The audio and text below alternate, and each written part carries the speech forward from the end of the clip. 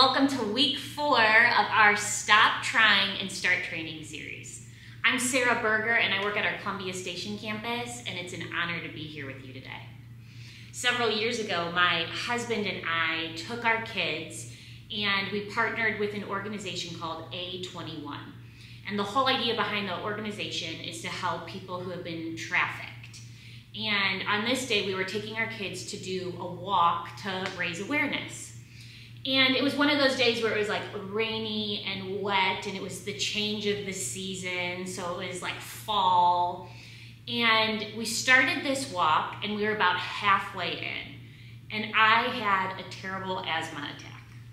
I couldn't breathe, but I tried to play it cool, and so like I just got out of the walk and kind of leaned over, and Jake's like, "Babe, what's going on?" And I was like, babe, I need an inhaler. But the inhaler was about three and a half miles away. And my husband literally took off. He started running to the car. And I was thinking it'd probably be about 45, 50 minutes before Jake's gonna get back with the inhaler. My husband ran this in like record speed. He probably got there in about 20 minutes or under. He was sprinting this whole time and he brought the car. I got the inhaler. I ruined the walk for the kids, but what I remember saying to him when he got there, I was like, babe, how on earth did you get here so fast? And he looked at me and he's like, I don't know. I have just known in my heart that I was going to need to run three miles to probably save somebody. So I've been training behind the scenes and I haven't told anyone about it. So for months, he had been training to run three miles because something in his heart thought one day he might need to do it to save someone. It's insane what happens when you realize what happens when no one else is looking. Most of the most beautiful art in this world is hours and hours and hours of the unseen. It's the same with the famous athletes. It's not just the glory moments on the field, it's what happens when they train behind the scenes. I heard once that Da Vinci wanted to get the human hand just right, and he drew over a thousand hands for this one piece of art that he had commissioned. What we do in private determines what everybody else sees. And it's no different with our spiritual life. In our spiritual life, when we do what is done in private to grow us, to become more like Christ, to spend time with Him and grow in these disciplines, we start to do this not for the world to see, but we do it for an audience of one. It's between you and God. And in the book that we are studying with Charles Swindoll, So You Want to Be Like Christ, he talks about the idea of it's what's done in private. The spiritual discipline are not just the people you honor and you look at and you're like, wow, there's something special. He says, I promise you, there were moments that they paid for that deep spirituality, that deep spiritual life. And I just want to encourage you that what is done in private, what's done between you and God, is going to make the difference in your public life. It's going to make the difference in what others see. Today, we're going to be talking about humility. I always laugh when I get assigned in these all church emphases because I feel like I'm like the least qualified person to talk about it. So, again, I'm coming to you as a student of humility. Humility is the idea where we don't think less of ourselves. I think a lot of Christians think you have to put yourself down or become small, and that's humility. But C.S. Lewis tells us that humility is not thinking less of yourself, it's thinking about yourself less. And I love that idea because, really, at the heartbeat of what Christ teaches us, it's that if you want to become great in the kingdom of God, then you are serving I love that idea, and in one of the most powerful ways he shares that is in John 13. It's these moments of the last hours of his life. And I don't know about you, but when I know that it's someone's last hours, especially Jesus, I want to lean in and I want to study harder what he's doing in these last moments. And he's with his best friends. And in John 13, Church, unfortunately, it's time for these the old lady glasses. It says, John 13, starting at verse 1. Now, before the feast of the Passover, when Jesus knew that his hour had come to depart out of this world to the Father, having loved his own who were in the world, he loved them to the end. What's cool about that passage, he loved them to the end. That is an idea of not he loved them until he died. The idea and the better understanding of this is he loved them with the utmost love. He loved them with everything he had. He loved his love had no end. And we're seeing that in his last moments of his life, he's not I don't know, doing all these other things. He's with the guys that are going to make a lasting impact on the rest of the world. He's with his best friends.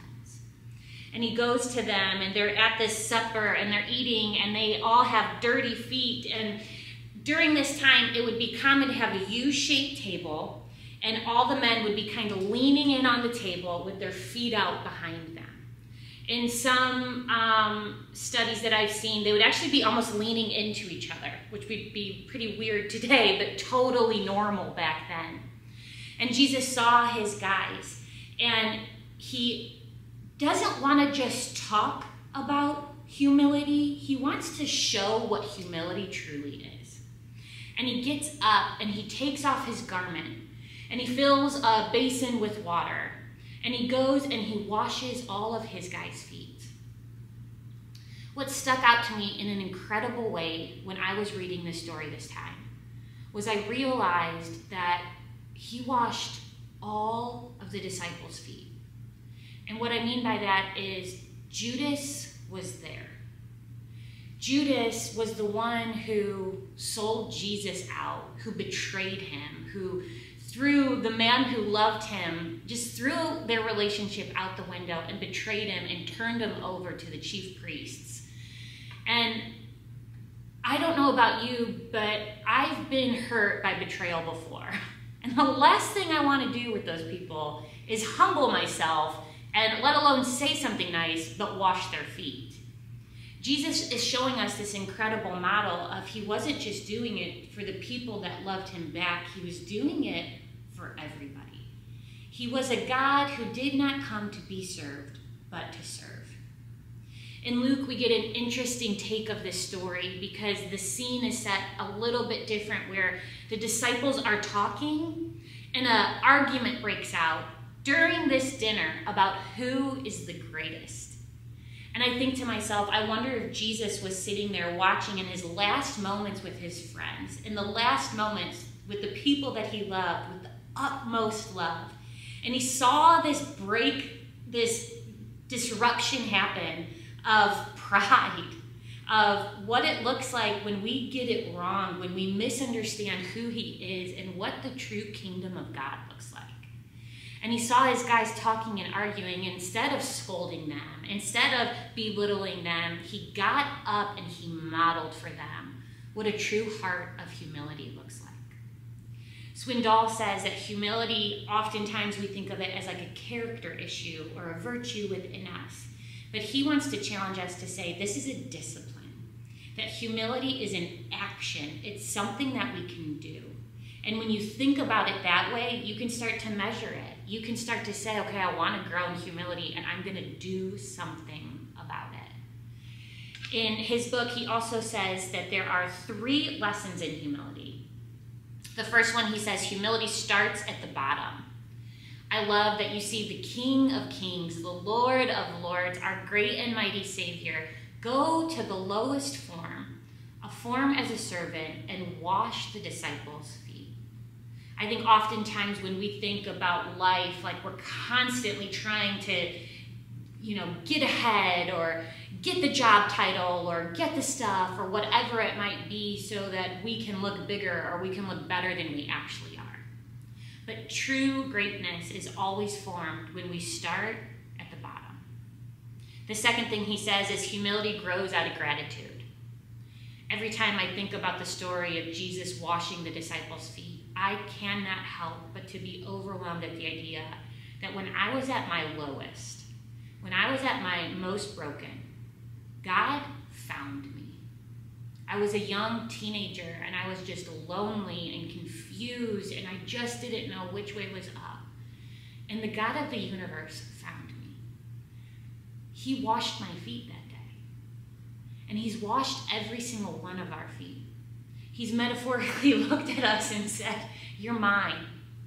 And then, very much in reality, he loved us to the point of death, that he died on a cross for you and I.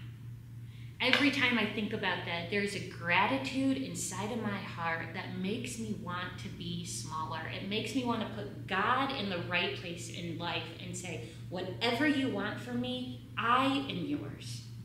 See, gratitude, when you have a grateful heart, it will always grow your humility. Three, he says, humility is an act of faith. I love this one because when we think about humility as an action, as I'm going to trust in God that He will provide for me everything I need, that I can take care of other people, that at the right time, my life, He will, He'll put me exactly where I need to be, exactly what needs to happen in my life. God is going to take care of that. So I can have the heart to say, I'm going to look for those in need. I can have the heart to say, I'm here to serve, not be served because it's an act of faith. It's saying, God, you are the God of the universe. You are the creator of all. And I want to serve you. I want to love you. And if loving you is by loving others, then that's what I'm going to do. I also like, and we're going to end it here, but there's three ways that you can really start to put humility into action. The first way is you sit on promoting yourself. I've been around people who are constantly looking for the title or constantly looking for the prestige. And I think the truth about humility is we all love to be around people who are humble and hate to be around people who are proud. But it's harder to look and see it in ourselves. And so I challenge you if there is something you are trying to attain in life, go for it with all your heart. But go for it with the act of you are not promoting yourself. At the right time, God will do what only He can do. You see it all throughout Scripture, where maybe people have passed somebody over. But what God wants done in this world, He's going to do. And when you sit on promoting yourself and say, I'm gonna, I'm gonna serve others, I'm gonna show up faithfully, I'm gonna seek God, I'm gonna do all that it takes behind the scenes to become the person that God's making me to be, you do something so much better for yourself and for the people around you. So sit on promoting yourself. The second one is stand up for others. Now, Charles Swindoll, he challenges me in this one because he says, don't just find the people that it's easy to stick up for. He said, find the people that are the hardest people to stick up for. Find the people that, these are my words, but are almost a little bit annoying and stick up for them. And it's like the ones that you almost think are the least deserving. It makes me think of Jesus washing Judas's feet. It was the last thing that Judas deserved, but Christ showed up and did it anyways. It's a humbleness that grows us. And the last one, it says, bow low before our God. I was watching a movie um, Pixar just put out called Elementals. If you haven't watched it, I'm about to ruin a very important scene, so you can end the video here if you want.